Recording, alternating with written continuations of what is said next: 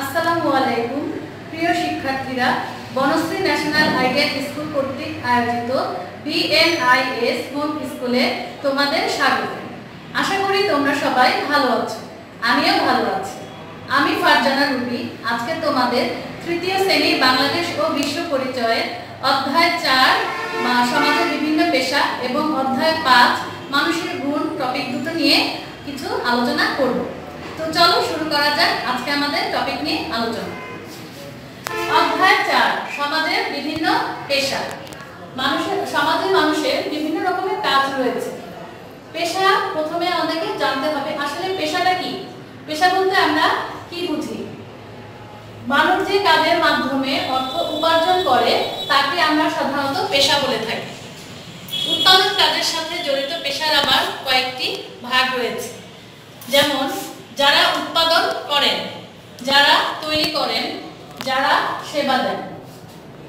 যারা উৎপাদন করেন, এই পেশার যারা মানে যারা জড়িত আছেন, তারা হচ্ছেন কৃষক জেলে। এখানে আমি দুটো ছবিতে দেখিয়ে দিচ্ছি, কৃষক। এই যে কৃষক কৃষিকাজ করেন, তারা ধান, টমেটো, আলু, এগুলো চাষ করেন। জেলে জেলে খাল, বিল, নদী, পুকুর, জলাশয়, মাছ উৎপাদন করে এবং তা বাজারে বিক্রি করে অর্থ উপার্জন করে এরপরে রয়েছে যারা তৈরি করেন কুমার, তাঁতি ও দর্জি রাজমিস্ত্রি। এখানে ছবিতে দেয়া আছে কুমার, তাঁতি ও দর্জি এবং রাজমিস্ত্রি। এরপরে হচ্ছে যারা সেবা দেন। চালক, ডাক্তার ও নার্স এবং শিক্ষক। এখানে ছবিতে দেয়া আছে চালক, ডাক্তার ও নার্স এবং শিক্ষক। এরা সবাই হচ্ছে সমাজের বিভিন্ন পেশার সাথে জড়িত।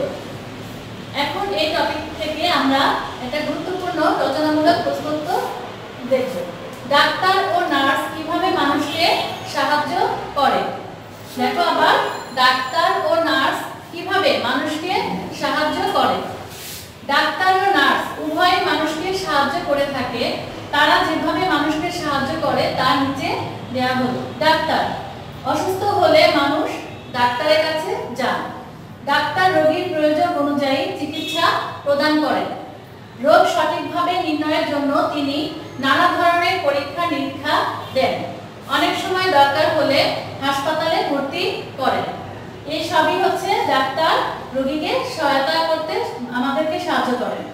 নার্স নার্স হাসপাতালে রোগীদের সেবা করেন। তারা রোগীদের ঔষধ ও তথ্য সেবনের মাধ্যমে তাদের সুস্থ করে তোলেন। নার্স, ডাক্তার কাজে ডাক্তারের কাজে বিভিন্নভাবে সাহায্য করে থাকে? তাহলে আমরা এখান থেকে ডাক্তার এবং নার্স কীভাবে মানুষকে সাহায্য করে সে সম্পর্কে জানতে পারলাম। এর থেকে অধ্যায় চারে কিছু আমরা গুরুত্বপূর্ণ সংক্ষিপ্ত প্রশ্নোত্তর পেয়েছি, যেমন, পেশা কি? দেখো, তোমরা সবাই, আমরা আগেই বলেছি, মানুষ যে কাজের মাধ্যমে অর্থ উপার্জন করে, তাকে সাধারণত পেশা বলে। দ্বিতীয়ত, যারা উৎপাদন করেন, তাদের পেশার কয়েকটি উদাহরণ দাও। কারা উৎপাদন করেন? যারা উৎপাদন করে, তারা হচ্ছে যেমন কৃষক, জেলে। এগুলো নিয়ে এদের কাজ নিয়ে হচ্ছে উৎপাদন সাথে এরাই হচ্ছে আমাদের উৎপাদন কাজে তাদের পেশার উদাহরণ।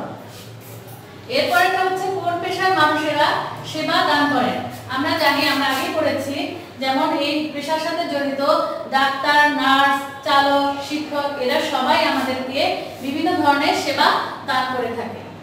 এই অধ্যায় অধ্যায় চারের পুরো টপিকটা আমরা খুব ভালোভাবে পড়ব যাতে এর ভিতর থেকে আমরা সঠিক উত্তর, সত্য মিথ্যা, শূন্যস্থান বাংলান এক কথা উত্তর সব যাই আসুক না কেন উত্তর দিতে পারি।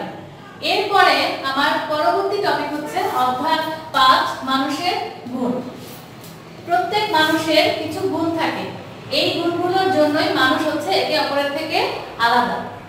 এখন আমার মূল হচ্ছে ভালো মানুষের কিছু গুণ নিয়ে আমরা আজকে আলোচনা করব। ভালো মানুষের গুণ। তো চলো দেখা যাক কি কি ভালো মানুষের গুণ। যেমন সত্য কথা বলা। সত্য কথা বলা। নিয়ম মেনে চলা। সবাইকে সমান চোখে দেখা।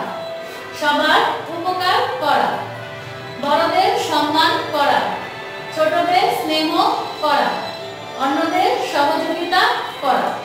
এই সবগুলোই হচ্ছে আমাদের ভালো মানুষের গুণ। এ থেকে আমরা একটা রচনামূলক গুরুত্ব পেয়ে থাকি যেমন গুরুত্বপূর্ণ একটা। মানুষের কোন গুণগুলো তাকে ভালো কাজ করতে সাহায্য করে। এই যে আমরা ভালো মানুষের যে গুণগুলো আলোচনা করেছি, এইগুলো লেখে আমার মানগুণ এই গুণগুলোই আমাদের ভালো কাজ করতে একজন ভালো মানুষের সাহায্য করে থাকে। এখান থেকে আমরা কিছু আবার গুরুত্বপূর্ণ সংক্ষিপ্ত প্রত্যুত্তরে পেয়ে থাকি। যেমন, ভালো শিক্ষকের কিছু গুণ উল্লেখ করো। ভালো শিক্ষকের গুণগুলোর মধ্যে হতে পারে, যেমন সত্য কথা বলা তারপরে নিয়ম মেনে চলা, সবাইকে সমান চোখে দেখা, বড়দের সম্মান করা, সবার উপকার করা ইত্যাদি একটি ভালো কাজের উদাহরণ দাও। এই একটি ভালো কাজের উদাহরণের মধ্যে আমরা বলতে পারি যে একদিন একজন বয়স্ক মানুষ রাস্তা দিয়ে হাঁটছিলেন, তখন সে রাস্তা পার হতে পারছিল না। তখন তাকে একটা ছেলে তাকে সাহায্য করল রাস্তা পার পারাপারে তো এটি একটি ভালো কাজের উদাহরণ হতে পারে। এরকম আরও বিভিন্ন রকমের ভালো কাজের উদাহরণ হতে পারে আমরা যেমন অধ্যায় চারে বলেছি ঠিক অধ্যায় পাঁচেও আমরা একই কথাই বলব যে এই টপিকটা ভালো করে আমরা যদি অধ্যায়টা পুরো ভালো ভালোভাবে পড়ে থাকি তাহলে এর ভিতর থেকে সব ধরনের সঠিক উত্তর, সত্য মিথ্যা, শূন্যস্থান বান্ডার এক কথায় উত্তর যেখান থেকেই আসুক না কেন, আমরা উত্তরগুলো সুন্দরভাবে খাতায় লিখতে পারব। তাহলে অবশ্যই আমাদেরকে কি করতে হবে? অধ্যায় চার এবং অধ্যায় পাঁচ। এই দুটি গুরুত্বপূর্ণ টপিক আপনারা খুব ভালোভাবে বাসায় আয়ত্ত করবেন এবং ভালোভাবে যেগুলো মনে মনে করো যে তোমাদের এগুলো কঠিন হচ্ছে, যেগুলো বানান সমস্যা বা সমস্যা, সেগুলো খাতায় একটু লিখে ফেলবে। তাহলে এগুলো ভুলে যাবে না। তাহলে আজকের এই পর্যন্তই। আবার দেখা হবে অন্য কোনো দিন, অন্য কোনো টপিক নিয়ে। তোমরা ভালো থাকবে, সুস্থ থাকবে। আল্লাহ হাফিজ।